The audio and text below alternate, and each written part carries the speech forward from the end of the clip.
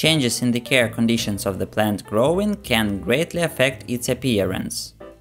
The main secret of the successful cultivation of cycas is detection of these problems and readjusting the care conditions in time. This cycas has three tiers of leaves. The first one developed when the palm was in one of the European greenhouses. However, the growth technology was wrong. As a result, the cycas did not receive the necessary nutrients. It is easy proved if you look at the dead leaf tips of the first tier. When the cycas developed the second tier of leaves, the plant was sold to a garden center. As the plant had a defect, no one really wanted to get it. As a result, the plant had been lying on the shelves for a long time. We can see it from the leaves of the second tier. They are too elongated, which is not correct. This is due to the lack of light during the leaf development period. In addition to this, their number is twice smaller in comparison with the first tier of leaves. That is also not good.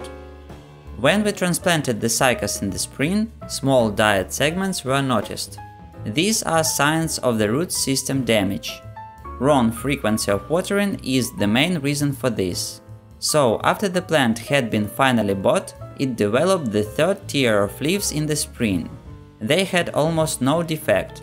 It means that the care conditions were optimal. There are lots of features of cycas care indeed, but you can find basic information in the article from our website.